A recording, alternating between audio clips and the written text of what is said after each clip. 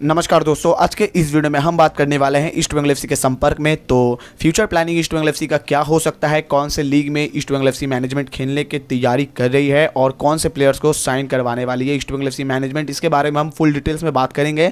लेकिन दोस्तों वीडियो में आगे बात करूँगा। उससे पहले मैं आप सभी से छोटा सा रिक्वेस्ट करता हूँ कि अभी तक आपने हमारे चैनल को सब्सक्राइब नहीं किया है तो प्लीज़ चैनल को सब्सक्राइब कर लीजिए और साथ में बेलाइकॉन को भी प्रेस कर दीजिए।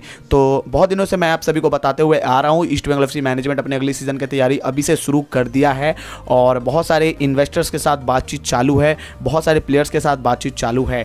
लेकिन दोस्तों जैसे कि अभी श्री सीमेंट के पास स्पोर्टिंग राइट है उसके वजह से ईस्ट बंगाल एफ़ मैनेजमेंट अभी कुछ भी चीज़ ऑफिशियली नहीं कर सकती। इन्वेस्टर का नाम भी अटका पड़ा हुआ है और दोस्तों बहुत सारे प्लेयर्स का साइनिंग अटका पड़ा हुआ है। ईस्ट बंगाल एफ़ मैनेजमेंट अभी आ, सभी से अपने बातचीत को आगे बढ़ा रही है ऐसा खबर है।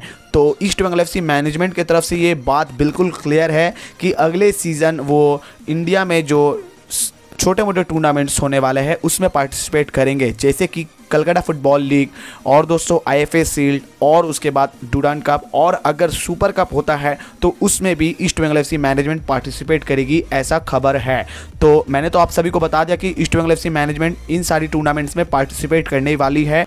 और दोस्तों, सिर्फ़ पार्टिसिपेट ही नहीं, बल्कि इन सारी टूर्नामेंट्स को ईस्ट बंगाल एफ़ जीतना भी चाहती है। तो जीतने के लिए ईस्ट बंगाल एफ़ मैनेजमेंट ने अभी से तैयारी शुरू कर दिया है, लेकिन मैं एक बार फिर से क्लियर कर देता हूँ कि sporting right East Bengal F management के पास नहीं है, जिसके वजह से अभी ईस्ट बंगाल एफ़ मैनेजमेंट काफ़ी ज़्यादा मजबूर है। लेकिन दोस्तों ईस्ट बंगाल एफ़ मैनेजमेंट को पता है, ये सीज़न ख़त्म होते ही श्री सीमेंट के साथ कॉन्ट्रैक्ट खत्म हो जाएगा और हम बिल्कुल फ्री हो जाएँगे और बहुत सारी साइनिंग्स देखने को मिलेगा। तो मैंने आप सभी को पिछले वीडियो में बताया भी था, बहुत सारे इंडियन प्लेयर्स अभी टारगेट में है ईस्ट बंगाल एफ़ मैनेजमेंट के तो उसके बारे में मैं बात नहीं करूँगा, लेकिन अभी जो अपडेट है ईस्ट बंगाल एफ़ को लेकर वो ये है कि ईस्ट बंगाल एफ़ मैनेजमेंट जो है, अपने प्लेयर्स को अगर साइन करवाएगी, चाहे वो फॉरेन खिलाड़ी हो, चाहे वो इंडियन खिलाड़ी हो, खासकर इंडियन खिलाड़ी को ईस्ट बंगाल एफ़ मैनेजमेंट दूसरी आईएसएल टीमों के जैसा दो से तीन सालों का कॉन्ट्रैक्ट ऑफ़र करेगा, क्योंकि लॉन्ग टर्म कॉन्ट्रैक्ट चाहिए होता है, क्योंकि हर प्लेयर्स अपना फ्यूचर को बचाना चाहता है तो इसीलिए कोई भी प्लेयर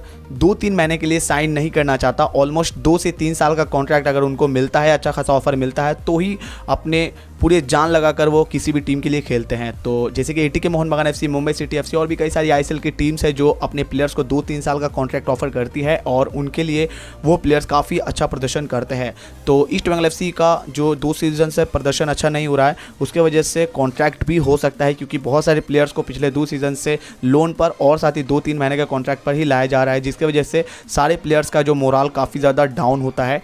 तो दोस्तों, इसीलिए ईस्ट बंगाल एफ़ मैनेजमेंट अपने प्लेयर्स को दो तीन साल का कॉन्ट्रैक्ट देना चाहती है ताकि सेम टीम दो तीन साल तक किसी भी लीग में खेल सके और आप उदाहरण के तौर पे देख सकते हो ए टी के मोहन बागान एफ़ मुंबई सिटी एफ़ दो तीन सालों से वही सेम स्क्वाड है जिसकी वजह से उनका प्रदर्शन काफ़ी ज़्यादा अच्छा हुआ है क्योंकि प्लेयर्स का जो कॉम्बिनेशन है वो काफ़ी काफ़ी अच्छा से सेट है।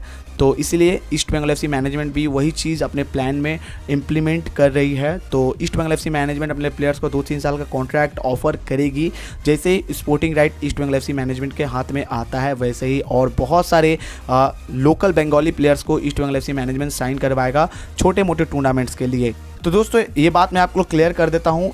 लोकल बंगाली प्लेयर से मेरा मतलब है जो संतोष ट्रॉफी में खेल रहे हैं बंगाल को रिप्रेजेंट कर रहे हैं उन सारे प्लेयर्स को साइन करवाएगा ईस्ट बंगाल एफ़ मैनेजमेंट मैंने आप सभी को बताया था चार प्लेयर टारगेट में है, लेकिन अभी जो अपडेट है छः से सात प्लेयर टारगेट में है ईस्ट बंगाल एफ़ मैनेजमेंट के कि उनको अगले सीज़न को साइन करवाएगा ईस्ट बंगाल एफ़ मैनेजमेंट तो आगे बढ़ते हैं और बात करते हैं एंटोनियो लोपेज हबास को लेकर।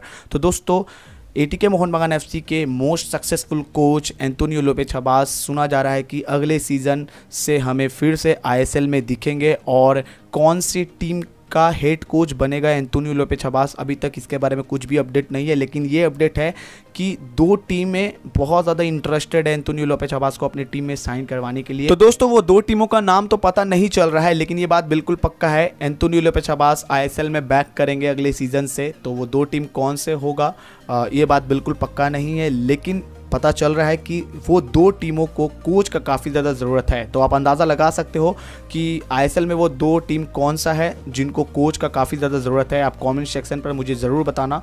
तो चलिए दोस्तों, फ़िलहाल ये वीडियो में इतना ही था। आशा करता हूँ कि आपको ये वीडियो अच्छा लगा। और अच्छा लगा तो प्लीज़ लाइक करो शेयर करो अपने दोस्तों के साथ। और अभी तक आपने हमारे चैनल को सब्सक्राइब नहीं किया है तो प्लीज़ चैनल को सब्सक्राइब कर लीजिए और साथ में बेलाइकॉन को भी प्रेस कर दीजिए। तो चलिए दोस्तों, अब हम मिलते हैं अपने दूसरे वीडियो में।